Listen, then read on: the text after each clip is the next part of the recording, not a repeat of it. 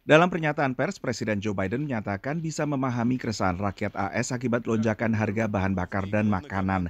Tapi ia kembali mengingatkan keduanya adalah akibat serangan Rusia di bawah Vladimir Putin terhadap Ukraina.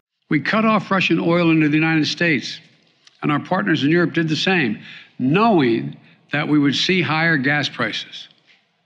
We could have turned a blind eye to Putin's murderous ways.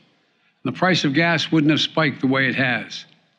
I believe that would have been wrong. Biden mendesak Kongres menangguhkan pajak bensin federal dan pemerintah negara bagian untuk melakukan hal serupa di tingkat lokal. Oposisi dari Partai Republik menolak seruan ini. What the administration, of course, is coming up with is yet another gimmick, uh, another band-aid, and something they know is dead on arrival up here in Congress. Sebagian analis setuju karena penurunan harga belasan sen per galon dinilai takkan signifikan meringankan beban konsumen. Yet another gimmick uh, being offered by a president who is clearly out of his depths when it comes to addressing the long-term structural imbalance between supply and demand in the energy markets.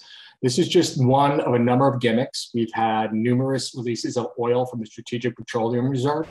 Tapi analis lain memahami betapa sulitnya posisi AS.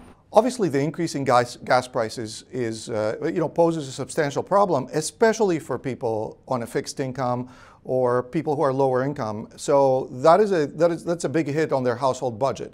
However, the, the average American consumer is in a really good position to actually weather this storm. We have historically high savings of money that people simply didn't spend during the pandemic. And also, just to put it into perspective, um, at least we don't have foreign troops and tanks rolling down the street. If you know Ukrainians are paying for, for this war in blood, and we're paying higher prices at the pump. Pada akhir Juni, Presiden Biden akan bertemu dengan pemimpin negara-negara sekutu, pertama dalam KTT negara-negara G7 di Jerman, lalu KTT NATO di Spanyol.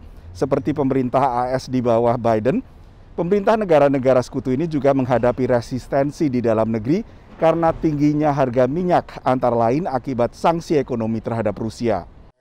Sebuah pil pahit guna menekan Rusia menghentikan serangannya. Well, how do you keep support for a war? How do you um, keep allied publics on board as the war goes on and people are starting to feel it in different ways and feel it in their pocketbooks? That That's a big challenge for NATO and the United States. Saat awal konflik, mayoritas rakyat AS dalam berbagai survei rela menerima kenaikan harga bensin demi membela Ukraina dari Rusia. Tapi dengan berlanjutnya konflik memasuki bulan kelima, kesabaran konsumen AS terus diuji. Dari Washington DC, Nova Purwadi dan tim VOA.